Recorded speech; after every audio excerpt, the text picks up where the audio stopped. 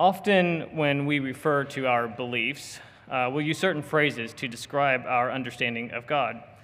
Often, we'll say, This is the truth, or we might refer to it, uh, or we'll say it's true Christianity, or we might refer to it as our walk with God. None of these are wrong. They all accurately describe our understanding of God and how we live according to his commands. In thinking of this, if you would, please go to Acts 9. Acts chapter 9.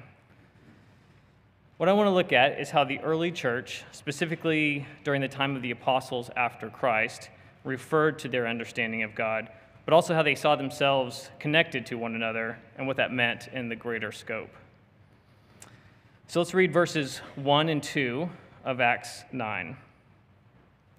It says, But Saul, still breathing threats and murder against the disciples of the Lord, went to the high priest and asked him for letters to the synagogues at Damascus, so that if he found any belonging to the way, men or women, he might bring them bound to Jerusalem. Saul, prior to his conversion, was an intense persecutor of the church.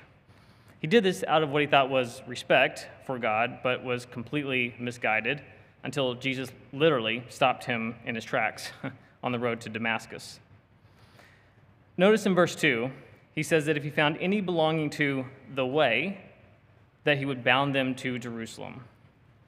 What does this mean, the way? Why does Paul use it like this, and what's he referring to exactly? We might be quick to think, well, yeah, he's using that to refer to those that are Christians, or a shortened version of the phrase God's way of life. And while this is not totally wrong, there's more to it or more to why it's referred to as the way by the apostles. And that's what we're going to look at. This term, the way, in the sense of how it's being used, is only found in the book of Acts. It's used in five, maybe six verses, and always as somewhat a passing comment in the greater context of whatever's going on. We don't need to look at all of them, but there are a couple that I want to point out in addition to this one here in chapter 9. Chapter 9, verse 2 is the first reference uh, to the apostles using it as a title. So let's go to chapter 22 now. Chapter 22, verse 3. Acts 22, 3. Here, Paul is reflecting on his past life as a persecutor, and he makes another reference to the way in chapter 22. Verse 3 I am a Jew, born in Tarsus in Cilicia, but brought up in this city educated at the feet of Gamaliel, according to the strict manner of the law of our fathers, being zealous for God as all of you are this day. I persecuted this way to the death, binding and delivering to, pre- to prison both men and women, as the high priest and the whole council of elders can bear me witness. From them I received letters to the brothers, and I journeyed toward Damascus to take those who were there and bring them in bonds to Jerusalem to be punished. Paul says that he persecuted this way to the death. But here again, what is it exactly that he's viewing as the way? If we say simply that the way refers to people who live a Christian life, that is, people who are natured by good works, something we should be anyway, then why would Paul be so against people who are just being good people? Doing wholesome, good things for their local people and brethren is nothing to be so enraged about uh, or to be persecuting them so intensely for. Was Paul basically saying that, you know, I don't like you helping your neighbor or giving to the needy, uh, so I'm going to throw you in prison because you're out there doing good for humanity? Probably not. I doubt that's all there was to it. Rather, Paul is referring to the way as an offset of Judaism something that threatened the Jewish belief system that certainly Paul was a part of. And there's something that is at the core of this, I believe, and we'll come to that in a bit. To support that this term is not just thought of as a good Christian way of life, but rather a belief and a mindset, let's go to Acts 19. Acts 19 and verse 23. This will start to take shape for us with how to understand this term. Its use here in Acts 19 is probably the most helpful example we have, in my opinion, to understand how the apostles were using this term. Starting in verse 23 of Acts 19. About that time, there arose no little disturbance concerning the way, which to me, when I read that, sounds like something from Star Wars. but anyway, verse 24 For a man named Demetrius, a silversmith, who, who made silver shrines of Artemis, brought no little business to the craftsmen, meaning he brought a lot of business. These he gathered together with the workmen in similar trades and said, Men, you know that from this business we have our wealth. And you see and hear that not only in Ephesus, but in almost all of Asia, this Paul has persuaded and turned away a great many people, saying that gods made with hands are not gods. Let's stop there. So, why do I think this verse is the most helpful in determining what this term, the way, means?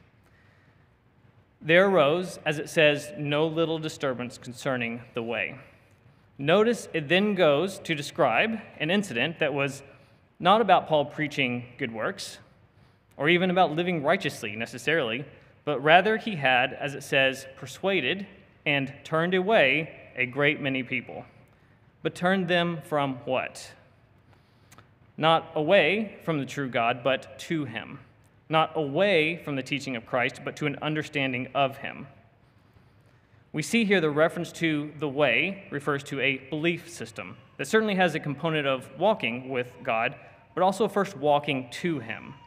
And this is done in the form of preaching the gospel. Just as we read that Paul persuaded and turned away many from a religion of false gods, or those made with hands, the way was the true conversion to an understanding of God, and it started with Jesus Christ, which is at the core.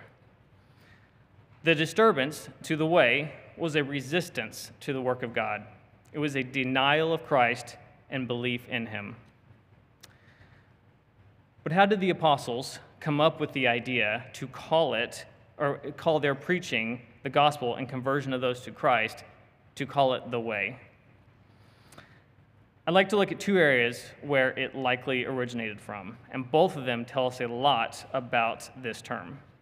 The first place is Mark chapter 1, which I can just read, uh, no need to turn there. Mark 1, verse 1. Uh, Mark starts his book with a prophecy quoted from Isaiah 40 uh, that's about John the Baptist. And so that's what we have here in the opening of Mark 1. Verse 1 The beginning of the gospel of Jesus Christ, the Son of God as it is written in Isaiah the prophet Behold, I send my messenger before your face, who will prepare your way, the voice of one crying in the wilderness, Prepare the way of the Lord, make his paths straight. Though this is a prophecy about John the Baptist, notice Mark starts his book with the beginning of the gospel of Jesus Christ, the Son of God, and then immediately follows that with an introduction to John the Baptist. John was, of course, ready to, or, uh, to make ready a people uh, and an understanding of both who and what the Messiah is, who was to come. This making straight the paths of the Lord is a likely foundation of the term, the way, used later by the apostles, because it speaks of both belief in and turning to Christ. And we see Mark connecting these two concepts immediately, I believe, and at the beginning of his book. This is further corroborated in our second example in the Gospel of John. So please go to one more passage in John 14. John 14. I think this section really provides the integral connection to not only what we just looked at in Mark, but the mission or understanding that the apostles would have had, uh, that they would have gone forth with after the time of Christ, using these words that Christ spoke in John 14. Let's start actually at ch- uh, verse 1 of chapter 14. Let not your hearts be troubled. Believe in God, believe also in me. In my Father's house are many rooms. If it were not so, would I have told you that I go to prepare a place for you? And if I go and prepare a place for you, I will come again and will take you to myself, that where I am, you may be also. And you know the way to where I am going understand here that he's not talking about heaven, but about eternal life and being one with God. Verse 5 Thomas said to him, Lord, we do not know where you're going. How can we know the way? Jesus said to him, I am the way and the truth and the life. No one comes to the Father except through me. If you had known me, you would have known my Father also. From now on, you do know him and have seen him. When Jesus says in verse 4, You know the way to where I am going, he then says two verses later that he is the way. So when he tells the disciples that they know the way to where he is going, he's, he is saying that the way to get to where I am going is me. I am the way. Obey me, follow me, and you will get to where I am going. Well, where is it he's going? this was Thomas's question. He answers this question, but perhaps not in the way we might have expected. He says in verse 6 that no one comes to the Father except through me. This statement might seem suddenly pulled from nowhere. It seems a bit out of context almost from what Thomas's question was. But is it? Jesus is telling the disciples that if they know him, that if they believe in and follow in the same steps and teachings that he did, that they will know the way to the Father, and that they do know him from now on. In other words, he's further showing that he is the way, the way to God. So, what is the way to the Father? It is through and of Jesus Christ. He is the way. Because of who Jesus was, uh, what he represented and was to do, it qualified him to go to the Father. So let's think about this. If Jesus himself is the way, then belief, obedience, and loyalty to him is the way. If Jesus himself is the way, then belief, obedience, and loyalty to him is the way. The, the apostles were instructed to preach the gospel, bring people to repentance, and ultimately make them disciples of Christ.